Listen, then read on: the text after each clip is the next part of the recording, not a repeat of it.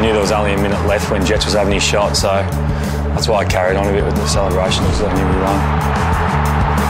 Pressure that we were under this sort of last six minutes was like no other.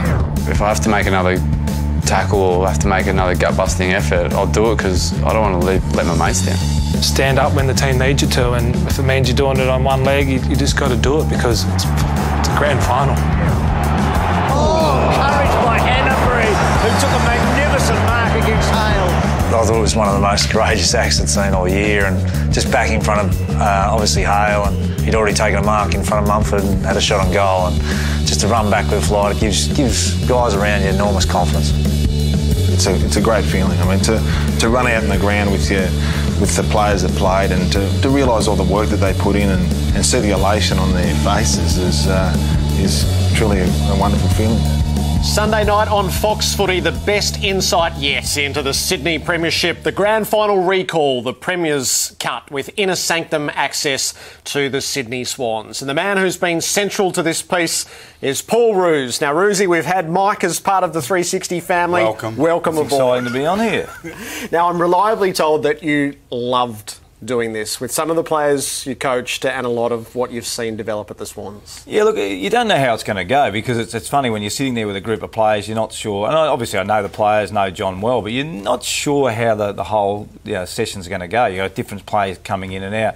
But it's riveting. You know, you're just fascinated watching the game with the players and then trying to throw in a question because you get you get so absorbed in the game yourself. So there's some really great discussion and really good insight from the players. In the lead up to the season, a lot of people have had the chance to watch the grand final again on Fox Footy, and there's almost been a lament that people forgot how good it was too quickly. When you're sitting there with them, living every moment of it again, did it occur to you just what an epic game it was? Yeah, it does because I think you're right. What happens in our game, isn't it? I mean, you play the grand final and you tend to get on the draft, and then the, you know, then up comes the sorry draft camp, and then up comes the draft, and we move Carlton on. draft or the national No, draft? the national draft. Right. A few probably Carlton Draughts after the game, but we do move on really quickly, mm. don't we? And it's it's funny when you stop and watch and look, and particularly with a group of players and the coach, to be able to go over it. It's just look, it's it's one of those things that you've, you've got to watch it because to get the inside of the players and the coach that win the grand final is very unique.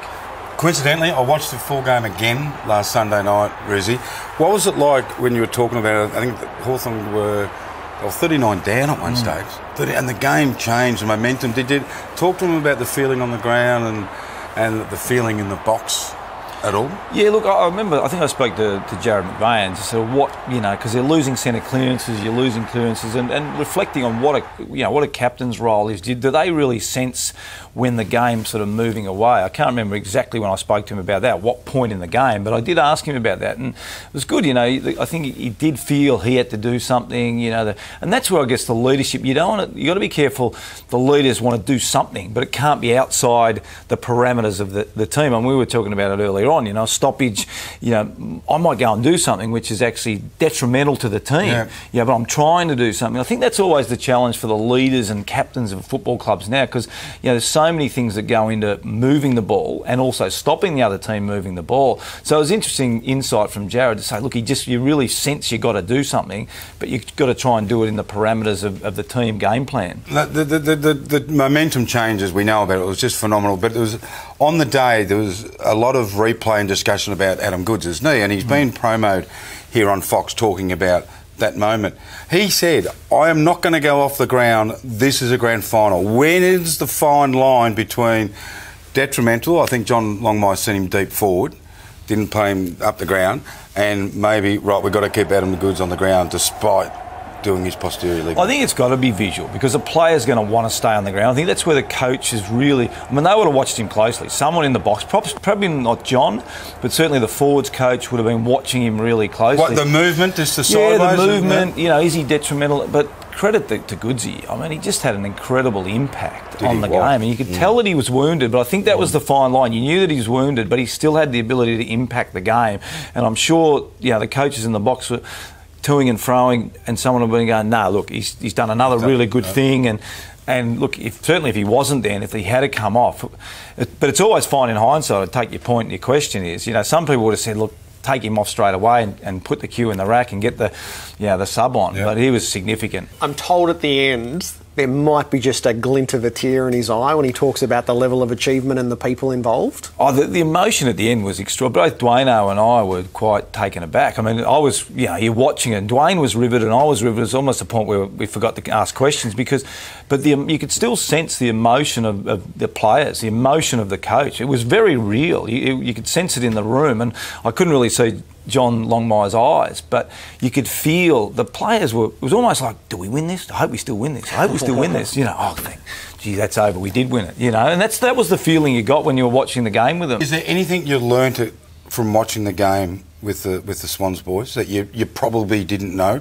like a particular player? Um, for example, I think Hodges' last 40 minutes was unbelievable considering his knee, and it was just a vigorous game. And Hodge was. Goodsy was. I thought Jarryd Roughead's yeah, third quarter was really important. Yeah, yeah. I think you had to see it again to realise some of the contributions. Goodsy for me. Goodsy was Goodsy was the one because you know you tend to obviously expectations for Adam Goodes. He's a dual Brownlow medalist, you know, and you tend to, to look at his game and thinking after the game, look, he did all right on one leg, but he did better than all right. You know, I think that was the thing that struck me. Um, probably Sam Reid was the other one. You know, that that's just some critical critical Grabs. contests and, and critical grabs. And look, the other, you don't want to hang someone, but I, I must admit, the Sam Mitchell 50. Massive. You know, Massive. and you probably mm. thought that during the game and, and even watching that probably just reinforced. You know, it was one of those just little things that. But Hawthorn had everything, didn't they? The Yeah. momentum. They Yeah, were they just coming did. back. And you thought, no, Sam. The other thing was interesting was they talking to the boys about the wind. I don't think at the ground I had a full appreciation.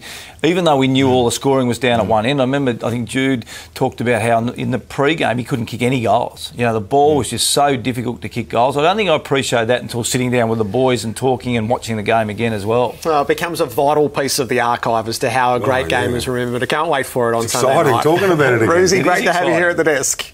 Okay, so it follows after the bounce here on Fox Footy.